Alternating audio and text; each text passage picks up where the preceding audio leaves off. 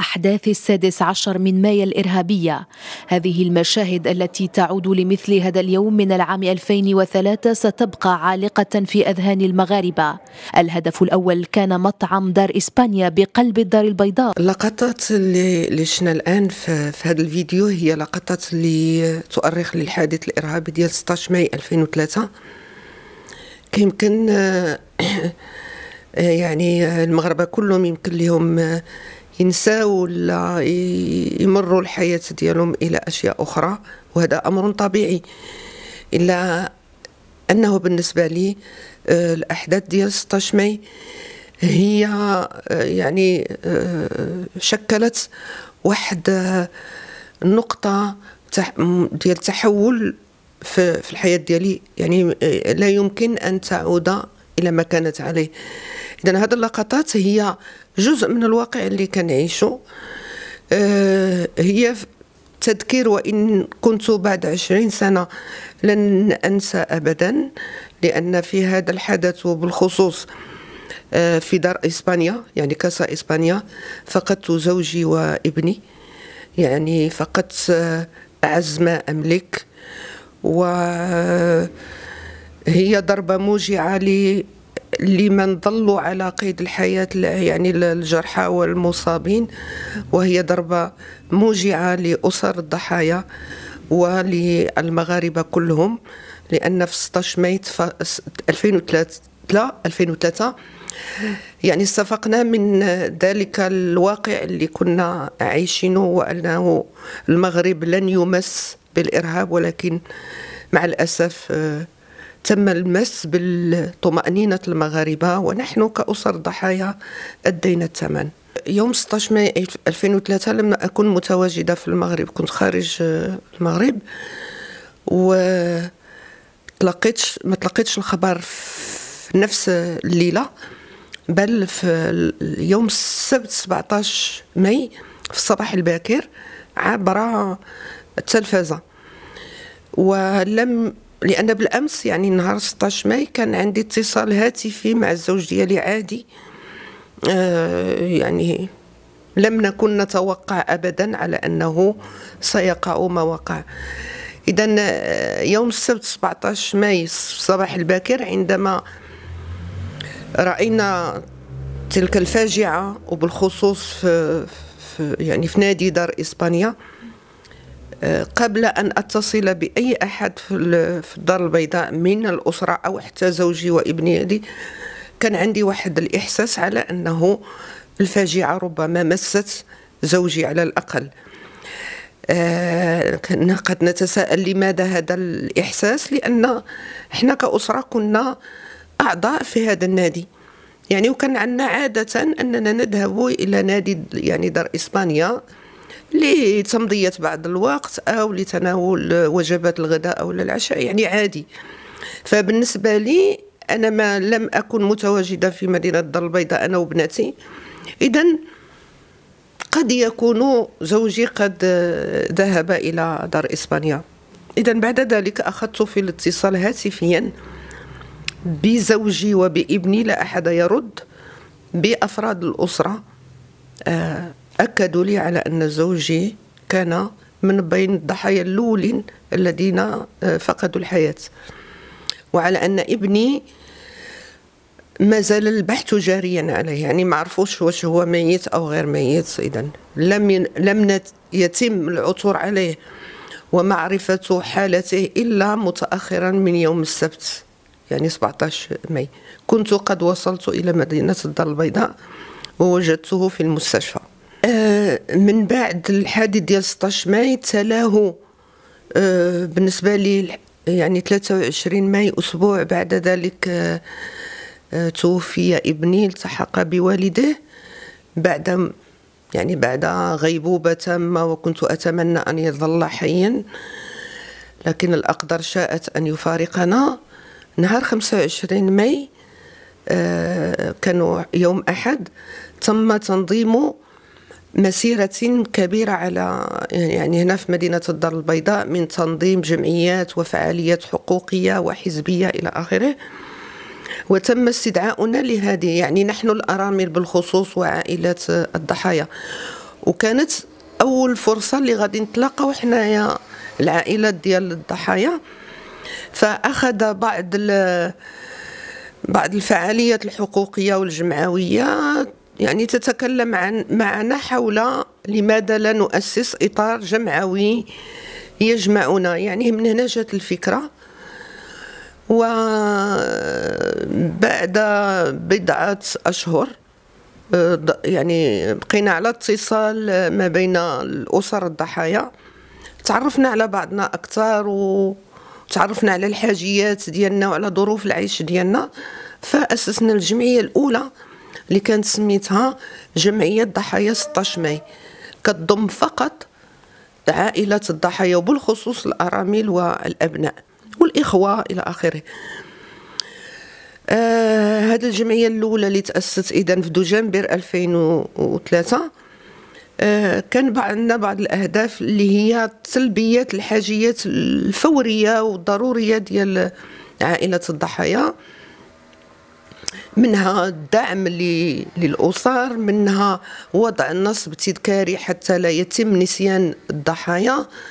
التمدرس ديال الأبناء ديال الضحايا وهذا كان هدف أساسي والحمد لله استطعنا بمجهودات إما شخصية أو عن طريق بعد المعارف والأصدقاء. إلى آخره استطعنا أن نوفر ظروف جيدة للتمدرس. وبقينا على هذا يعني في إطار هذا العمل المتواصل احتاجت الأحداث ديال حادث ارغانا في 28 أبريل 2011 وكانت قبل منه بعض الأحداث ولكن كانت صغيرة في مدينة الدار البيضاء بحال حي الفرح وشارع مولاي يوسف وفي في عبد المؤمن ولكن كانت صغيرة. وباش كنحدوا الحدث الإرهابي صغير مع الأسف بعدد الضحايا. إذا في أرجانا بان على أن الإرهاب ما زال متواجد وحصد أرواح ضحايا مغاربة وأجانب. فأردت الانفتاح على ضحايا آخرين وبل حتى على الفعاليات حقوقية أو فعاليات اللي يمكن لنا تساعدنا وإلى آخره. إذا هنا تأسست الجمعية المغربية لضحايا الإرهاب اللي اللي كاينة الآن. وأنا الرئيسة ديالها وبقات جمعية ضحايا 16 ماي بقات منغلقة فقط على الأسر الضحايا. حنا في الجمعية المغربية لضحايا الإرهاب عندنا عندنا أهداف. يعني كنعملوا على التحقيق ديالها. الهدف الأول دائما هو حتى لا ننسى وفي كل 16 ماي من كل سنة كنعملوا وقفة عند النصب التذكاري دائما مع 6 ونص العشية. وكان يعني كنوقفوا إحنا بعض الأسر الضحايا وبعض الأصدقاء بعد بعض الفعاليات حقوقية وجمعويه إلى آخره. وعندنا أهداف الهدف الرئيسي اللي كيجي من بعد إحياء الذكرى هو التحسيس بخطورة التطرف والإرهاب. وهنا اخترنا أنه نتوجهوا للأطفال والشباب في المؤسسات التعليمية بمختلف أسلاكها من الابتدائي حتى للتعليم العالي. وكنقوموا بهذا التحسيس وكنقوموا بأنشطة أخرى آه، يعني ب بمقاهي أدبية بورشات للرسم أيام سينمائية يعني كل ما يمكن أن يحفز على التشبث بالحياة والابتعاد عن التطرف والإرهاب. آه، كنتلقاو بعض الدعم ولكن كيبقى غير كافي. يعني المحرك الأساسي ديالنا في يعني في في إنجاز هذه الأهداف هو آه يعني آه, آه، إيماننا بهذه الأهداف وعلى أنها يمكن أن تمس الأطفال والشباب ويمكن تحميهم من الانجراف نحو التطرف والإرهاب. وفي بعض الأحيان إذا كانت المصاريف أكثر في غالب الأحيان على أنه كان كنعتمدوا على موارد خاصة ديالنا علما على أن الجمعية إحنا كلنا متطوع ما عندناش آه، أشخاص اللي يعني كيمتهنوا هذا العمل الجمعوي. وهذا هو السر على أنه بقات الجمعية إلى حد الآن وكتقوم بهذه الأنشطة بشكل آه، يعني متواصل. أول شيء هو ملي تعرفنا على بعضياتنا. داك النهار الأول ديال المسيرة نهار 25 ماي 2003 بحال بالنسبة لي أنا آه، كنت كنعرف بعض بعض الأرامل. يعني قبل بحكم كنا كنتلاقاو البعض منا كنا كنتلاقاو في نادي دار إسبانيا. والأخريات ما كنتش كنعرفهم. اذا كاين داك الإحساس أنه أنا ماشي بوحدي.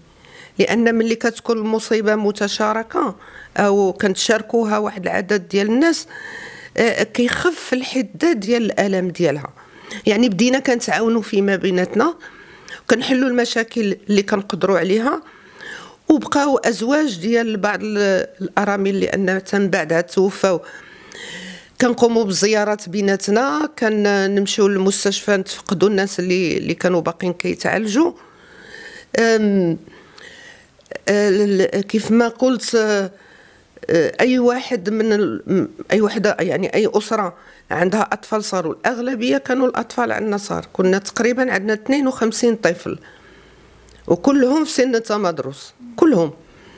آه إذا كنقولوا إذا فقدوا الأب والمعيل وهذا على الأقل نوفروا لهم آه، الظروف ديال تمدرسكم مزيانه يعني هاد آه هاد التقاسم ديال هاد المعاناة ساعدتنا على أننا ماشي نتجاوزوا المعاناة ولكن على الأقل خفت منا وجعلت أي وحدة فينا كتمر بشي أزمة ولا هذا يمكن ليها تهاتف واحدة أخرى ولا كنديروا لقاءات كنجلسوا كنتعاودوا في بيناتنا لأن إخراج هذاك الالم وداك المعاناة كيساعد على على تجاوز فترات الحداد. وكل واحد فينا الآن بعد عشرين سنة كيتعايش مع هذه المعاناة بطريقته الخاصة. اذا إلا ما خانتنيش الذاكرة ديالي من ألف من 16 ماي 2003 إلى الآن تم تفكيك ما يفوق 200 خلية إرهابية. آه، إما خلايا اللي كانت آه، يعني مهيئة للمرور إلى يعني للانفجار أو التي كانت في إطار آه، التهيئ. هي هاد هذا المقاربة الأمنية الاستباقية لا يمكن إلا أن نصفق لها.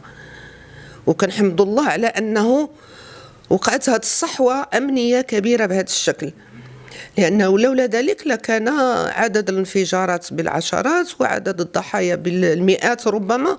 لكن كنحمد الله وما يمكننا غير نكونوا ممتنين للسلطات الأمنية بهذه الفعالية ديالها اللي كتجاوز آه، حدود الوطن ويشهد لها بل ويتم الاعتماد عليها وعلى خبرتها في بلدان أخرى.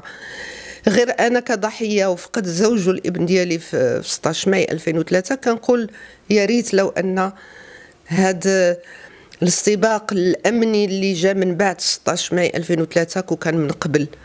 كان ربما يعني هذه متمنيات. وإن كان اللي وقع قد وقع يعني كان يمكن 16 ميتة هو يتم يعني تفكيك الخلية اللي قامت به. ولكن على الأقل آه المغرب حاليا في واحد الحالة يقظة أمنية كبيرة اللي كما قلت آه يسهر على أمن المغاربة وما يبقوش يتعرضون هذه العمليات الإرهابية. فاحنا يعني إحنا كضحايا الإرهاب ولا إحنا كفي الجمعية أو لا بصفتي أنا الشخصية ك فاقدة للزوج والإبن في, في هذه الأحداث اللي غادي يمكن لي نأكد عليه هو على أنه الإرهاب راه ما سلاش وينبغي على كل واحد فينا ماشي باش نعملوا واحد التهويل ولا التخويف لا بعيدا كل البعد على ذلك. هي تبقى اليقظة والحذر كل واحد من من جانبه. ثم آه، آه، يعني أطلب من الأسر المغربية على أنها تكون يقظة أكثر مع الأبناء ديالها خصوصا وأننا دابا حنا كنمشيو للمؤسسات التعليمية وكنشوفوا مدى خطورة وسائل التواصل الاجتماعي على الأطفال. وكل ما يتم الترويج له عبر هذه الوسائل اللي هي خارجة عن كل مراقبة إلا نادرا.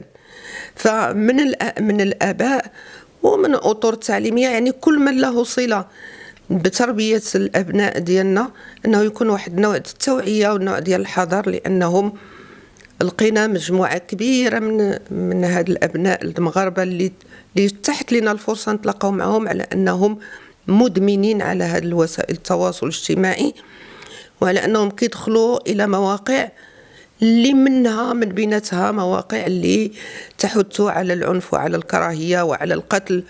والدليل على ذلك على أنه حاليا المجموعات الإرهابية تعتمد بشكل كبير على هذه الوسائل لاستقطاب شباب وإخراجهم من وسط منازلهم ومن بين أحضان أسرهم وتزج بهم في أماكن العنف والتطرف والإرهاب. تحولهم إلى قنابل وإلى آه، يعني مقاتلين حسب المفهوم ديالهم. قبل ما تخرجوا ما تنساوش تابوناو في العشرين فبراير.